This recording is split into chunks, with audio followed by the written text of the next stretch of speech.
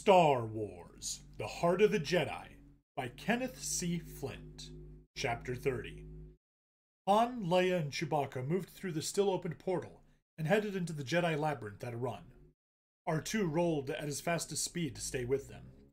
3PO brought up the rear, loping awkwardly along, seawater still draining from the crevices of his metal body.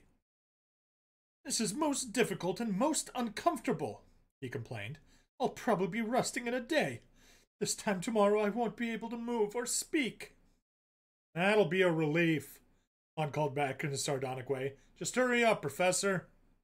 The droid nearly crashed into the others when Leia paused as she came through the opening into a new corridor, and they pulled up with her. Which way now?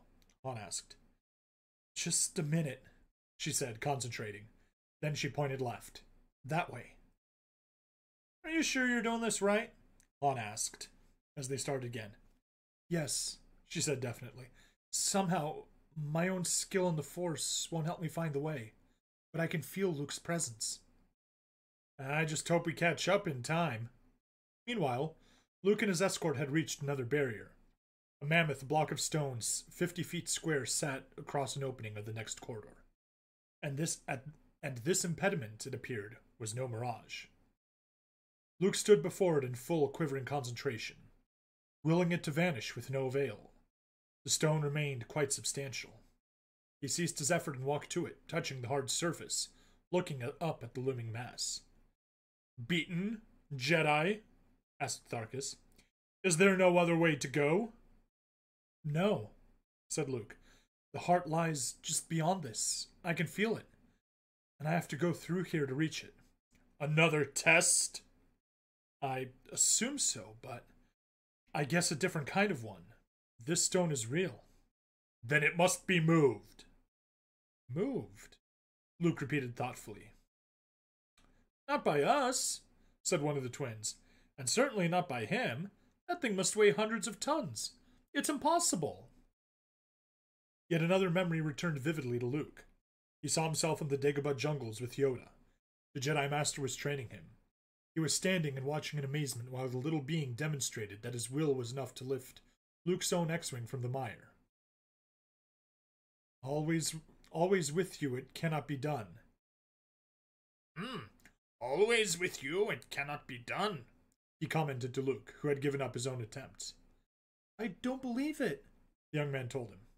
That is why you fail, Yoda sternly replied. Luke came out of the reverie.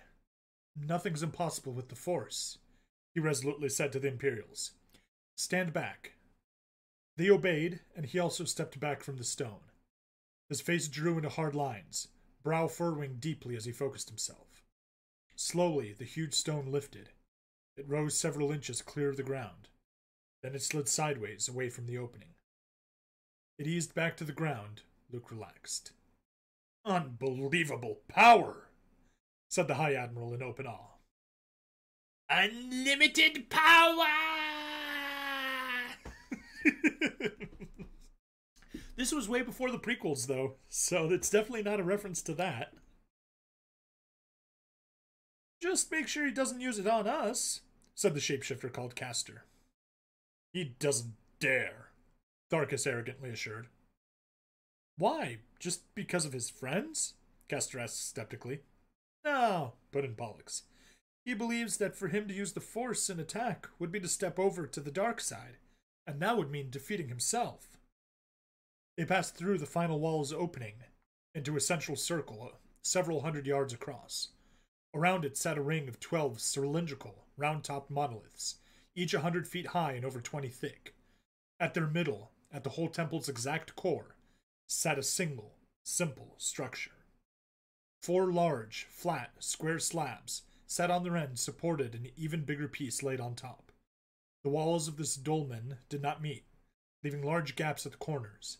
Though these gaps, uh, through these gaps, a slowly and steadily pulsating red light could be seen. With greater caution now, the men moved closer.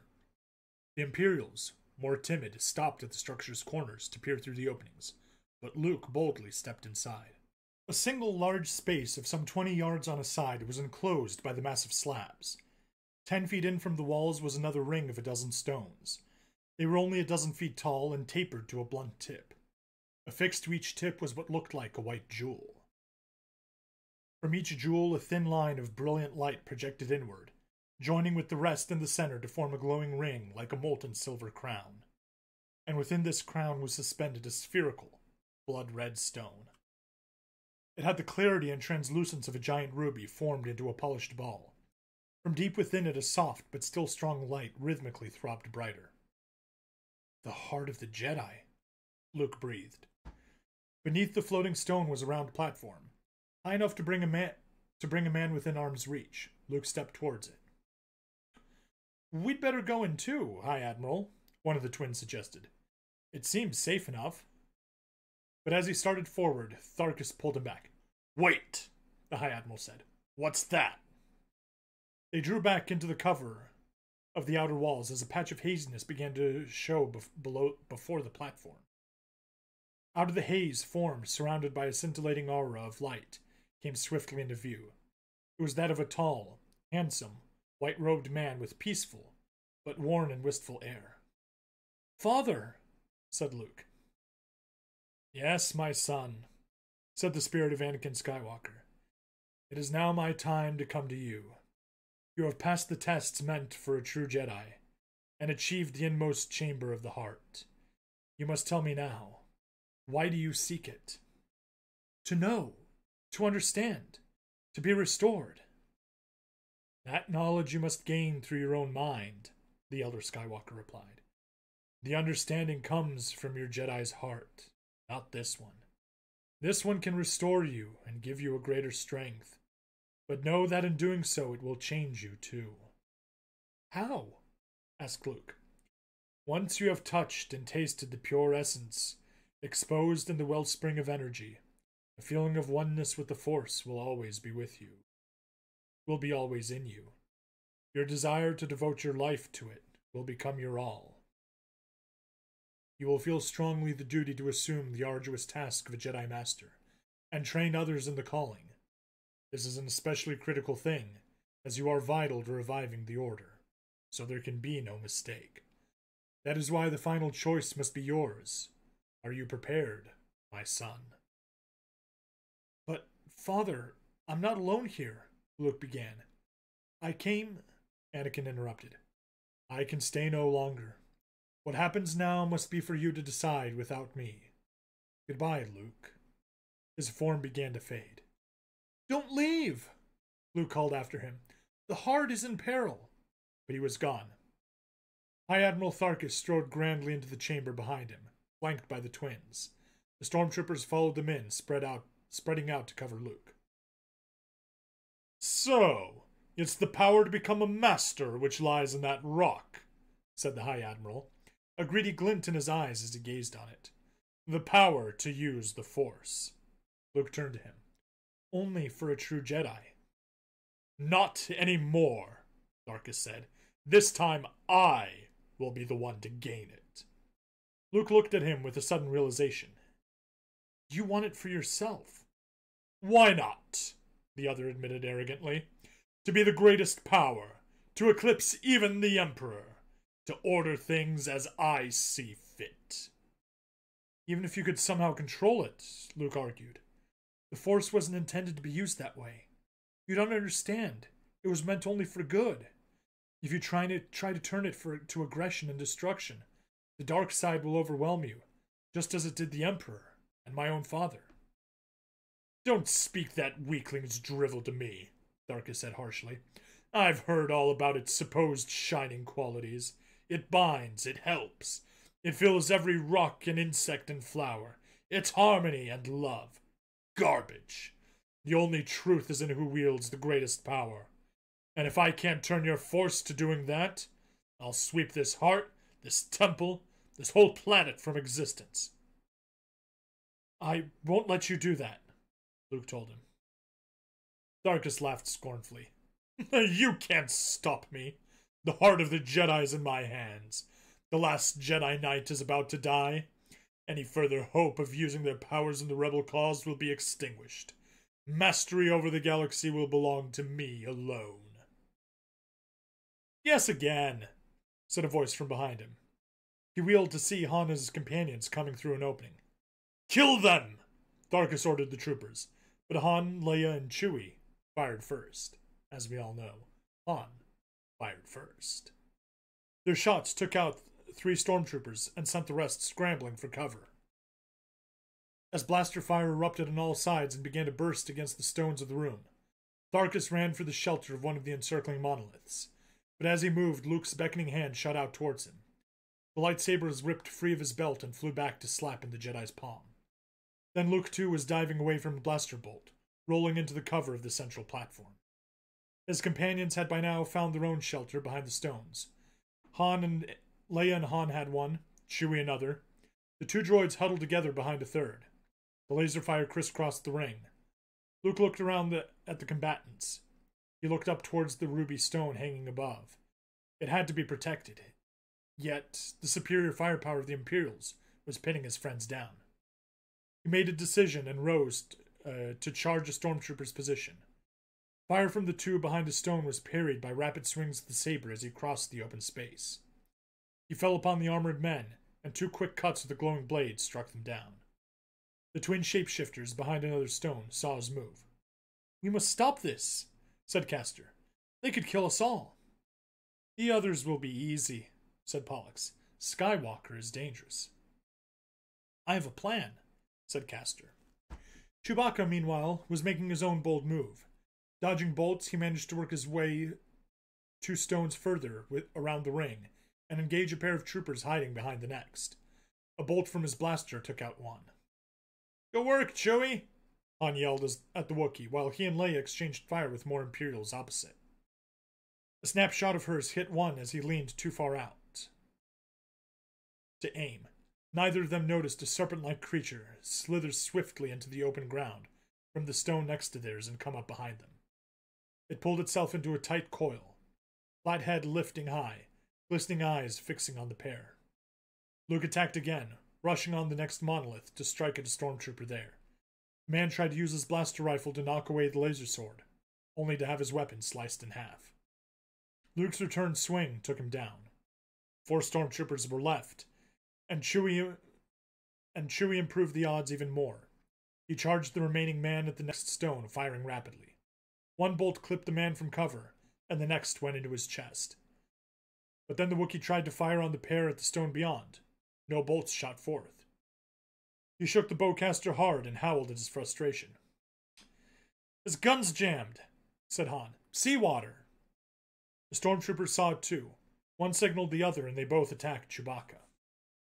Leia fired. Range was long, but her shot went home, downing one man as he rushed across the open space. Chewie dodged the fire of another, ducked around a stone, and brained the trooper with his useless weapon as the man moved round it. Good old Chewie, said Han Leia. As much muscle as brains. Behind them, a glowing chrysalis rose to surround the coiled serpent. Its shadowy form within the glow swelled rapidly larger. Across the ring, Luke was preparing to charge the final trooper when he heard a voice calling him. Luke! He looked around to see a form approaching. It was that of Anakin Skywalker. Father? said Luke in astonishment. You're back. You must not do this, the figure said sternly as it strode closer. This is a Jedi temple, a sacred place. There can't be violence here. Lay down your sword. Luke lowered it part way. But, father, he said, sounding momentarily confused, we have to defend ourselves and protect the heart. No arguments, my son, Anakin said firmly. You are a true Jedi. You must obey. Drop the sword. The lightsaber dropped further. Anakin eyed it approvingly. One hand moved to his robe. But then he, then, but then the remembered voice of Obi Wan sounded warningly in Luke's mind. Don't trust your senses. Luke shook off the confusion and focused hard on the advancing man. He saw there, superimposed on the on the form of Anakin, a swiftly shifting montage of ephemeral shapes that included an Alliance pilot, a Jawa, a Tusken Raider, a leathery flying creature, and an Ewok. Luke also saw the blaster pistol hidden inside the figure's robe. Not this time, mate, he said and swung the saber out in flat, hard stroke. It slashed through the neck of Anakin. but as the head flew off and rolled away in a spray of sparkling purple blood, it transformed into that of the twin called Pollux. Likewise, the toppling body shrank back into the being's true, cadaverous form. While Luke was thus distracted, the last stormtrooper tried to make a break for an opening in the outer walls, but a shot from Han stopped him before he made it. That takes care of him, Han said with satisfaction. Not quite, a gruff voice behind said a gruff voice behind him. Both he and Leia looked around.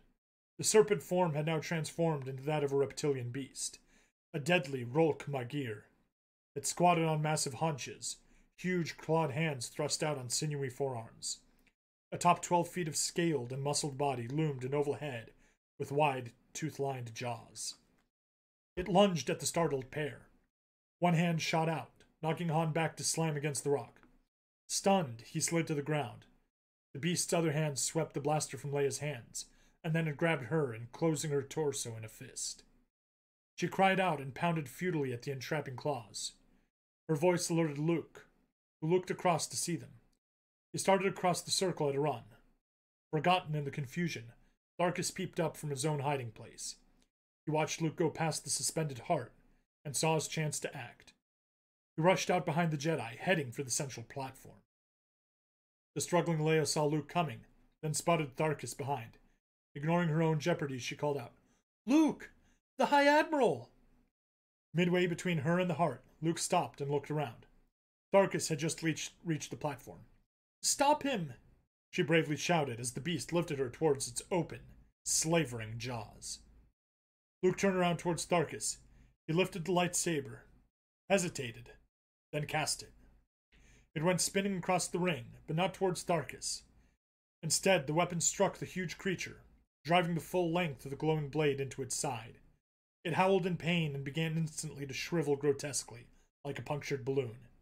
Its dwindling hand released Leia as it collapsed onto one side, shrinking back into the scrawny, blue white form of Castor. The lightsaber had impaled his bony chest from side to side, skewering the purple mass of his visible heart.